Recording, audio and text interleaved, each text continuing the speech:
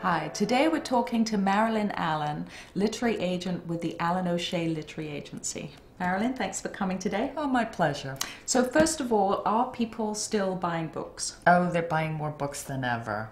I was reading an LA Times report recently and it mentioned that book sales last year were up 6.2%. Okay, in And we're- 2012? That's right. Great. That's right. And we're seeing more and more books bought, enjoyed, read on e readers and old fashioned p books. So, Okay, so that's good news for writers out there. absolutely. And what about um, self publishing versus traditional publishing? Is most of that going towards self publishing, or how do you think that's breaking down? We're seeing increases in both areas. Um, traditional publishers are publishing more and more, particularly in the fiction category, thrillers and romances and genre. Genre books? right? Readers just can't seem to get enough. Young adult is another hot category. Um, I was in New York City at publisher meetings yesterday with three publishers, and every one of them mentioned they were buying more and more young adult, historical romances, thrillers. But we're also seeing a big increase in self publishing. A lot of people feel like that's the fastest, easiest route for them to go for their book project. This is the book we're talking about today. It's um, book proposals and query letters. And one of the reasons I love this book is because um, I can hear your voice in it. You know, you're you're no nonsense, but you've got a great sense of humor, and so it makes you. this easy reading, but essential reading because if you want to get published and you're going to approach an agent, you've really only got one chance with that particular agent. Isn't that right? I think that's so true. We're inundated with emails and pitches, so I probably see three, four hundred pitches every couple days. So I tell writers be smart, be professional, do your homework. I'm always looking for new clients, but you know, I need you to be smart, well prepared, know your category, research the competition, and come to me with a smart plan about your book. right. Three to four hundred Uh, yes. via email. Uh, via most all almost all of them are via email these days. Wow. Okay.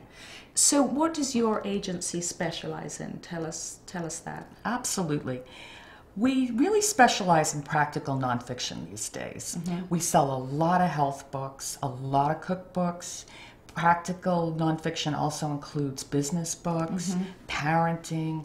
I'm always looking for interesting science books, history, biography, those kinds of things. Mhm. And I know on your website it says um, select fiction. What does that mean? Select fiction. We've sold fiction projects through the years, but we've just found it's gotten very, very competitive.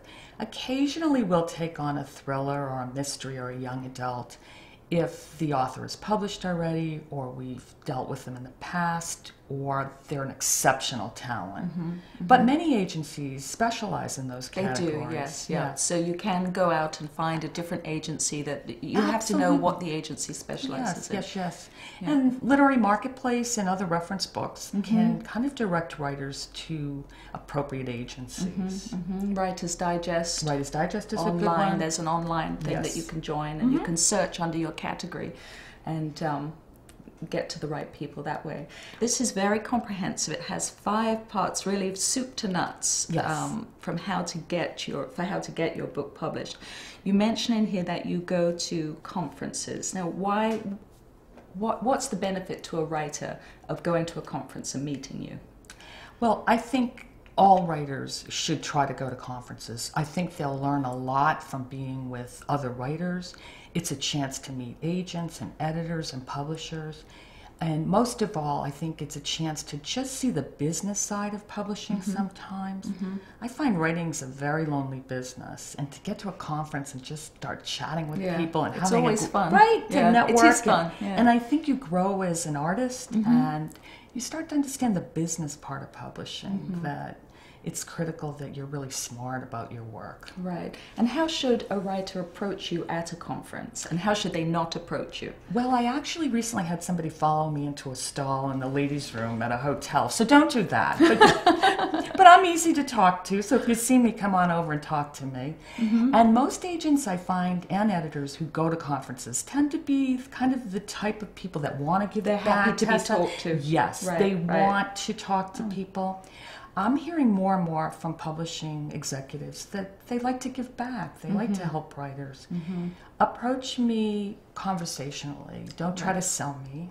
Right. Find out what I'm interested, what our agency's looking for. So do the research on the website Ex- first. Exactly. Right. Right. And I like to help people even if I cannot represent them all. Mm-hmm. So use it as an opportunity to just widen your world. And So if someone has a book that doesn't necessarily suit you and they come across you, they can still tell you about their book and you can give them some pointers for how the next steps. that's exactly right.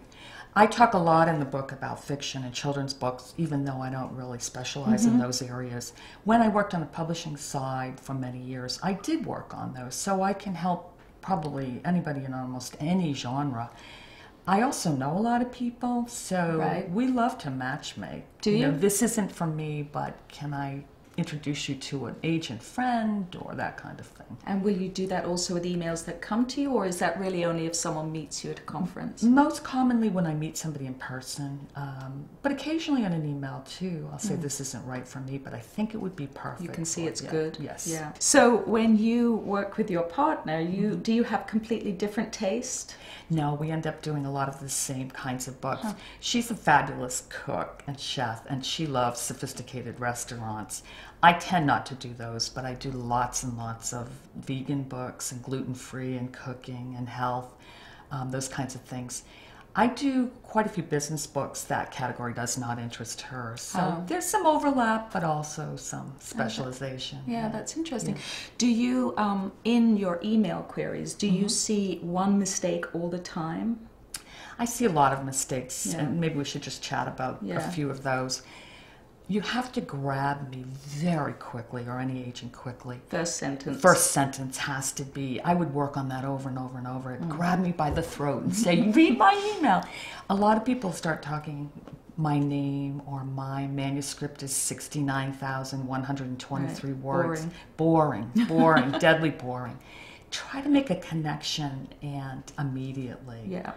So that's something. And also, what you have in here is bad examples and good examples. I thought that was very helpful. Yeah. I hate to teach bad things, but sometimes we're all guilty. And if you I read it- them all thinking, ooh, have I written one like this? I didn't want to see my. Ex- exa- yes. Exactly, Yeah. exactly. And a key thing in the beginning is to make that connection. I bought your book, or I met you at a conference, Mm-hmm. or I write just like an author of yours. Something personal, Personal. that says the author knows who you are. They've done their homework. It Yeah. says a lot very quickly. Yes. Are there common traits in the authors that you um, represent who've been successful either in getting a representation or going on in their career? Are there common traits? There are a lot of them. Um, the authors that I love are doing their life's work. Mm-hmm. You know, many of them are helping people with their retirement plans or helping kids with allergies Mm-hmm, or, you know, they're doing their life's work and they have a lot to say in that space. I find it tough when people come to me and they say, I can write about anything. Ah, yes, no good. That's no good. I call that shoe shopping. Ooh. What's in your heart? What do you Yeah, want to write yeah. about? And also, that doesn't work anymore for authors because when you're building a platform, your platform has to be about who you are as a writer. It can't be about every different thing that's popular at the moment. That's absolutely right. Yeah. And you, Tessa, you just stole the word right out of my mouth. I was going to say, nope, no, perfect. I was going to say, it's so key that people have a platform these days. Publishers want to know how are you going to reach your audience. Okay, so let's be specific here. What Okay. numbers are we talking about? Like how many Facebook likes, how many Twitter likes, uh, well, followers? it's, it's hard to say because it depends on the category. Mm-hmm. But I find, for example, at McGraw Hill, if I'm selling a business book there, they want people to have 40,000 names, that kind of threshold, whether it's a newsletter or Anywhere. So it could be yes. email or it could be followers or it could be likes. 40,000. That's a lot. That's a lot. That's one example. Okay. But I have um, a young blogger, and she has 700,000 people following her. So the publisher was. What's she blogging about? She's blogging about gluten free cooking. So she's got a huge community, a huge following. Wow, that is now, the challenge for her is going to be what can she say new that she hasn't sort of given away on her blog? But what I tell my clients to Hmm. do on a marketing page is to bullet every single tangible thing. Mm-hmm. You know, I'm part of this group. Yeah. I gave this speech last week to 200 people. Mm-hmm. My Facebook is growing by 10% a year. You know, concrete, Concrete things. growing, legitimate. How much should an author expect to budget over, say, a year to get some of these numbers? I mean, how to get to face 10,000 Facebook likes or. It's hard to say, but I suggest that, truthfully, it's a 10 year program. Okay. That start today and work on it and build it if this is the work you want to do. Every day, work at it, build it. There's no magic switch on the back of your computer. There's no service you can buy. Yeah, oh, I know you got to. You have to do the hard work. And I would say that just keep at it every day. Yeah. it will come. And so, um, is there one, apart from a platform, is there one personality trait that you see in successful authors apart from doing the life's work? I mean, are they just very diligent? Do they all have connections? Did some of them come to you just out of the blue and have taken off? That's a complicated question and Yeah. a good one. I see passion as at the core. I see collaboration and cooperation. Okay. Um, I had a young author just accept a lesser offer from a publisher because they publish beautifully in the area she wants to work in. Right. They publish beautiful illustrated books. So you have to be logical and understand your own brand. And not be desperate. Not be desperate. I'm in the process to help you and work with you, but it is a long process. Mm-hmm. So, mm-hmm. like, And isn't it also the case with an advance that um, it almost doesn't matter? It's the royalties that are more important. it's the royalties, and I think sometimes it's getting the first core book right. If you want to build a series Right. or publish a lot, it's critical that the first book has a powerful message, Right. that it works. Right. Mm. And what about, um, let's say someone's got a full time job, they've got kids, they're they're busy. How are they going to handle the writing and the getting the query letter right for you? And how do they do the platform as well? How do they? It's fit that in? exhausting, I know, we're it's also exhausting. exhausted. I know. I think don't rush it. Don't just work at it. I feel like so many of the queries I see are rushed. Oh. You know, I've done my, I've been writing for a year and a half, two years, five years. Here's the query letter. Just do it all smart and Mm-hmm. intelligently. I would also say get up early. Yeah. Oh dear. Yeah, not what you wanted to hear, but before before your day starts. Right. So take your time. Use perhaps your best energy in the morning before you're exhausted. Before your Right. children have to get off to school. Right. I would add to that find a group, you know, find That's a, a great tip, Yeah. yes. Well, a group, it doesn't have to be a class, you know, it can Mm-hmm. be online, it can be at your local bookstore, your Barnes and Noble, wherever. But just get a core group of people who wish your best success, you know, they wish you success and are willing to help you. And when you get tired and fed up, then it's They're there know, to they're support there, you. I think that's yeah. a good idea too. And do you think it's okay for authors just to focus on one area of platform building? So just Facebook or just Twitter or Reddit or whatever's appropriate for them? Or do you think they need to be everywhere? I think it's probably better to have one solid place where, whether it's Pinterest for Mm-hmm. your canning projects, or I think it's probably best to focus on one and go from there. Another tip go where the traffic is. Mm-hmm. If you can be a guest, blogger on a very heavily trafficked site, Right. people will start to follow you and come over to your space. Mm-hmm. Instead of building it, sometimes borrow it. Yeah, share your content, even Exactly. though perhaps not too much so that you're not exhausting yourself with gratis writing. Exactly. But But, some. some people are discovering you and finding you and want to know more about you. And I know that you have a number of um, best selling authors, but mm-hmm. of the books that you've done, is there one, or the series, is there one that you're the most proud of? Well, I have so many, and they're all my children. I truly do love them. Of the royalty reports come in, and it's like their report cards. I'm like, oh my Really? babies! Oh, I'm so passionate. I would say at the moment I'm particularly fond of a young woman named Julie Morris, and she self-published a book called Superfood Kitchen, which was gorgeous. And I brought it to Sterling, the publishing company owned by Barnes and Noble. Mm-hmm. They took it over immediately, improved it slightly. It's been a huge bestseller. And what sort of platform did she have at that time? She um, works with a natural food company. and She's a spokesperson. She's also done a lot of work with Whole Foods and a mm-hmm. lot of vegetarian vegan conferences. Did she have 900 zillion people following her? She had a passionate, loyal consumer base. And she does beautiful recipes, beautiful photography. Huh. So she's gone on now to do superfood smoothies. Oh. And in just a few months, 75,000 copies have sold. Wow. Superfood juices. She's Really? working on superfood snacks. So there's an example where I think she got the core book right. Mm-hmm. And the follow up books are just doing beautifully. Mm-hmm.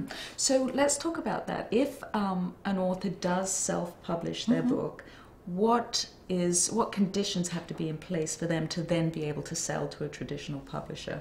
I think they have to show a really good product, even if they've done Right. It themselves. Mm-hmm. And many self published books are really poorly done. Mm-hmm. So if you're going mm-hmm. to go that route, Use eh, professionals. use professionals. Yeah. Hire an editor, A a designer. designer. Exactly. You've you've heard this Right. from, from you. You want it to be attractive. Yeah. And you better make it work. Um, this young woman. Meaning sales. Sales, Yeah. exactly. Is there a level? Could you say, you know, if you sell 1,000 copies, 10,000 copies? You better be getting near 10,000 Okay. for most categories if you want a publisher to pay attention. Okay. And so if someone sends an email query letter to you and they have self published, what would have to be in there? Are, are you open to that? Just as open as you would be if it hadn't been self published? I am if it's well done. Okay. Yes. Oh, so I've sold quite a exciting. few. Do you have any funny stories? Funny stories. Oh, I have, you know me, I have a million. where to start? Where to start? Well, we're That don't make us feel bad, that don't make writers feel bad.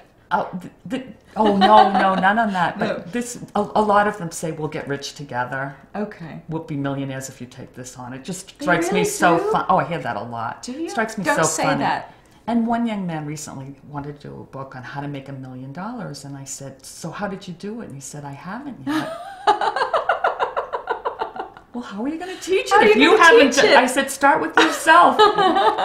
What did he say? He's- he looked at me absolutely shocked, like, "Oh, Oh, that is funny. So, so come from a place of credibility. uh, yes, Yes, have done what you're saying you can teach, Mm-hmm. and have a platform. Have you know, be speaking somewhere, or you know, create that platform. Follow the steps in the book, and that's right." and that will give you the information.